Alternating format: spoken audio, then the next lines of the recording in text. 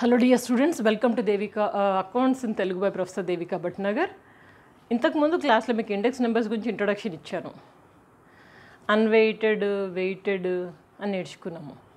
అన్వెయిటెడ్లో average aggregative అని నేర్చుకున్నాము. అట్లాగే వెయిటెడ్లో కూడా. ఈరోజు క్లాస్లో మనము అన్వెయిటెడ్ మెథడ్స్ అన్నీ చూసేద్దాము. అన్వెయిటెడ్ మెథడ్స్ వెరీ సింపుల్ అండి. ఈరోజు క్లాస్ ఒక్క పది నిమిషాలు మీరు ఫోకస్ చేయండి మొత్తం అర్థం చేయించేస్తాను. చాలా సింపుల్. ఇంత ఈజీనా మేడం అంటారు. సరే ఇక్కడ మనకి అన్వెయిటెడ్లో రెండు రకాల నేర్చుకున్నాం కదా ఏంటది? Simple aggregative and simple average method అంట రిలేటివ్ మెథడ్ అంటాము. సో సింపుల్ అగ్రిగేటివ్ లేదా అన్వెయిటెడ్ అగ్రిగేటివ్ మెథడ్ అనొచ్చు. సింపుల్ యావరేజ్ లేదా unweighted aggregative unweighted average method అంటాం. ఏం లేదు అగ్రిగేటివ్ యావరేజ్ రెండు గుర్తుపెట్టుకోండి. Weighted unweighted aggregative method unweighted average method aggregative అంటే టోటల్ చేయడం. యావరేజ్ అంటే తెలుసు. అర్థమెటిక్ మేము చేసినాం కదా యావరేజ్ తీసుకోవడం సగటు. ఈ రెండు మెథడ్స్లో ఫార్ములాస్ ముందు గుర్తుపెట్టుకొని తర్వాత ప్రాబ్లంకి వెళ్ళిపోదాం. ఫార్ములా ఏంటి? పీ జీరో వన్ అంటాం ఇది.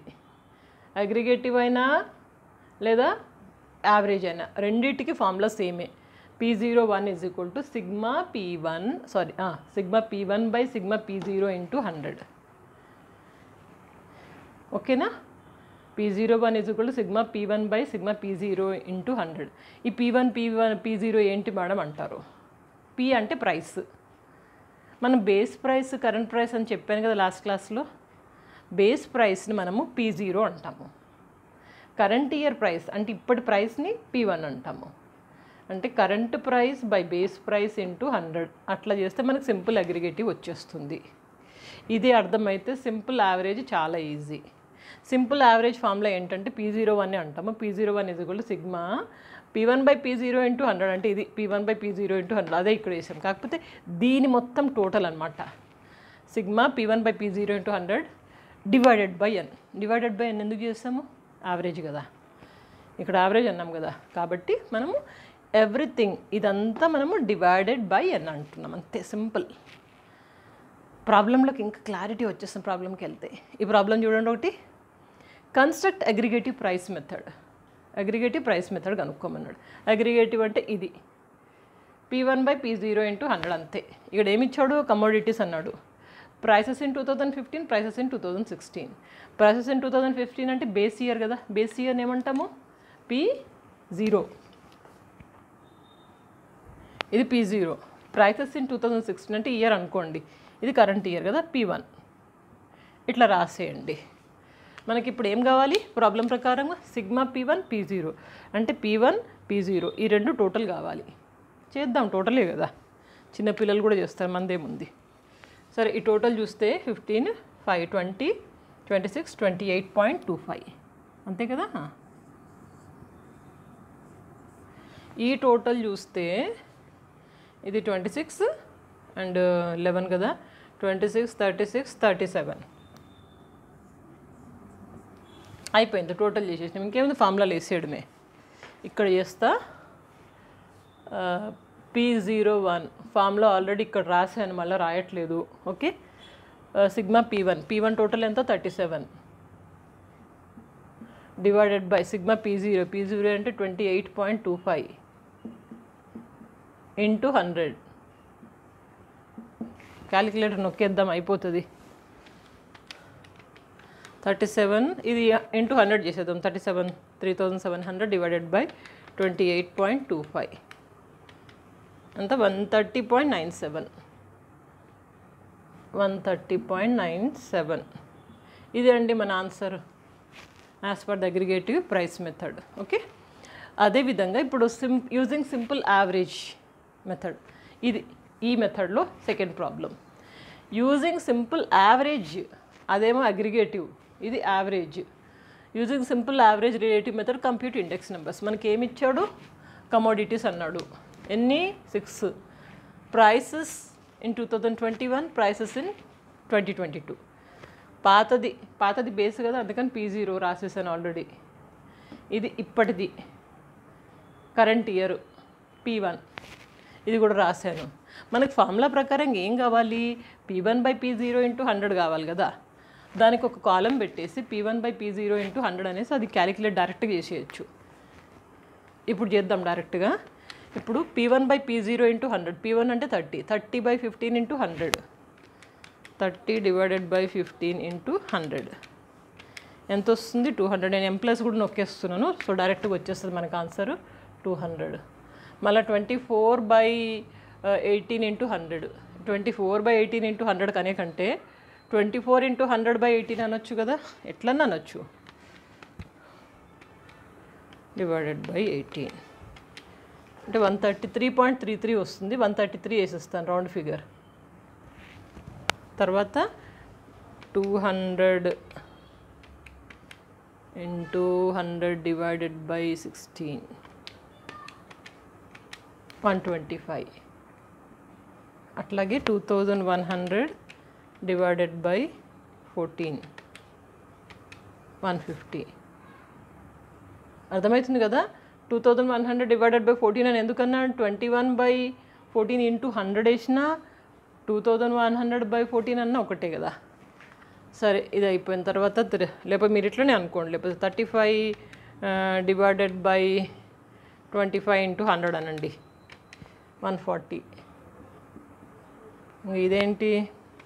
Thirty divided by forty into hundred అనండి. Seventy five.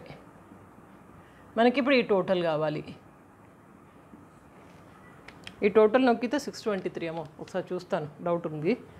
Two hundred plus one thirty three plus one twenty five plus one fifty plus and one forty and seventy five.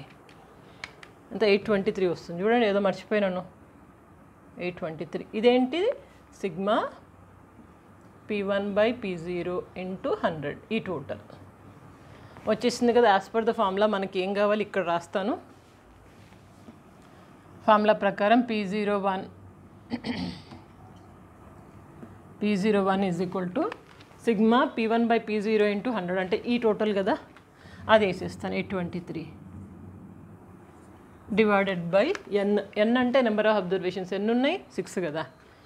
N six eight twenty three divided by six అంటే ఎంత వస్తుంది? One thirty seven point one six ఇది answer మనకి. ఓకేనా ఇప్పుడు problem అయితే అయిపోయింది. ఇప్పుడు ఈ ఉన్నదాని ప్రకారం మనము మీడియన్ కూడా కనుక్కోవచ్చు. మీడియన్ క్యాలిక్యులేషన్ దీని ప్రకారంగా ఈజీ అవుతుంది. అంటే మనకు మిడిల్ వాల్యూ ఏంటి అని తెలియ తెలియడానికి మీడియన్ కనుక్కోవడానికి ఇది బేస్ అన్నమాట. దీని నుంచి మనం మీడియన్ కనుక్కోవాలి. ఇది కాదు. ఓకే ఇది మనకి బేస్ అన్నమాట. దీని నుంచి మనం మీడియం కనుక్కోవాలి. అంటే ఇది ఒకటే డాటా కదా. ఒకటే కాలంలో ఉంది. అంటే ఏంటిది? Individual series. ఇండివిజువల్ సిరీస్లో మీడియాని ఎట్లా కనుక్కుంటాం? ఫస్ట్ ఇచ్చిన డాటాని అసెండింగ్ ఆర్డర్ ఆరోహణ క్రమంలో వేసుకుంటాము. వేద్దామా అసెండింగ్ ఆర్డర్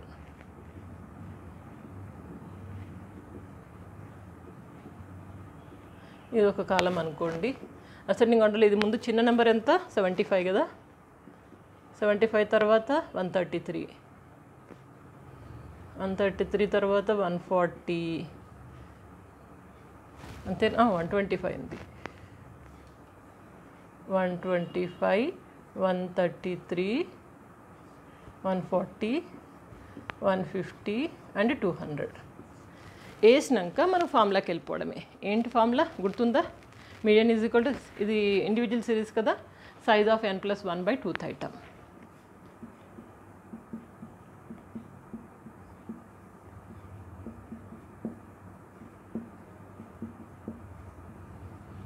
N అంటే ఎంత నెంబర్ ఆఫ్ అబ్జర్వేషన్స్ ఎన్ని ఉన్నాయి ఇక్కడ మనకి సిక్స్ ఉన్నాయి కదా? Six plus one by two అంటే ఎంత వస్తుంది? Three point five three point fifth item అంటే థర్డ్ ఫోర్త్ మధ్యలో ఉంటుంది. థర్డ్ ఐటమ్ అంటే fourth one thirty three fourth item అంటే వన్ ఫార్టీ ఈ రెండింటి మధ్యలో ఉంది కాబట్టి దీని దీని యావరేజ్ తీసుకుందాం. Third item plus fourth item by two third item ఎంత? One thirty three. Plus fourth item అంటే one forty divided by two. ఏడబోయింది calculator? One thirty three plus one forty divided by two. One thirty six point five. ఇది median అండి. మీడియనే కాదు మనం ఈ data base చేసుకొని arithmetic mean కనుక్కోవచ్చు actually arithmetic mean తీసుకున్నాం కాబట్టి అక్కర్లేదు. మీడియం కనుక్కున్నాం అట్లా ఏది కావాలంటే అది కనుక్కోవచ్చు మీకు జస్ట్ ఫర్ అన్ ఎగ్జాంపుల్ చూపిస్తున్నాను యాక్చువల్లీ ప్రాబ్లం మనకి ఇక్కడికే అయిపోయింది. ఇక్కడికే అయిపోయింది. ఇదేంటి మనం మీడియం ఎక్స్ట్రా కనుక్కున్నాం అంతే. So do not get confused మనకి ఈరోజు క్లాస్లో ఏం నేర్చుకున్నామంటే మెయిన్గా weighted unweighted sorry అన్వెయిటెడ్లో aggregative and average method aggregative formula sigma P one by P zero into hundred యావరేజ్లో sigma P one by P zero into hundred same అదే చేసినాము. Sigma అంటే all together divided by N ఈ రెండు problems చేసాం. ఈ problem ప్రకారం ఏంటి? P one P zero ఈ టోటల్ చేసినాము ఫార్ములా వేసాం అయిపోయింది. ఈ ప్రాబ్లంలో ఏమైంది? మనకి యాజ్ పర్ ద ఫార్ములా ఇది కావాలి. కాబట్టి దానికి ఒక కాలం క్రియేట్ చేసి ఆ టోటల్ వచ్చేసింది. దాన్ని ఈ ఫార్ములాలో అప్లై చేస్తాం. ఈ ఫార్ములా ఓకే? అంతే సింపుల్ ఏం లేదు. క్లియరే కదా? నెక్స్ట్ క్లాస్లో ఇంకా కొన్ని మంచి మంచి ప్రాబ్లమ్స్ పట్టుకొస్తాను. చాలా ఈజీగా అర్థం చేసుకుంటారు. ఎంతమందికి అర్థమైంది? కామెంట్ బాక్స్లో రాయండి. కనెక్ట్ అయి ఉండండి. ఇంకా చాలా చాలా చేద్దాము. Commerce and management academy Devika's commerce and management academy ఆ ఛానల్ కూడా ఫాలో అవ్వండి. సింపుల్ ఇంగ్లీషే. నా ఇంగ్లీష్ వింటూ ఉంటే మీకు ఇంగ్లీష్ కూడా వస్తుంది సబ్జెక్ట్ కూడా అర్థమవుతుంది. ఓకేనా? సో ఈ వీడియోస్ చాలా కష్టపడి చేస్తున్నాను కాబట్టి తప్పకుండా పది మందితో షేర్ చేసుకొని అందరికీ ఉపయోగపడేటట్టు చూడండి. స్టే కనెక్టెడ్ ప్రాక్టీస్ బాగా చేయండి. Good luck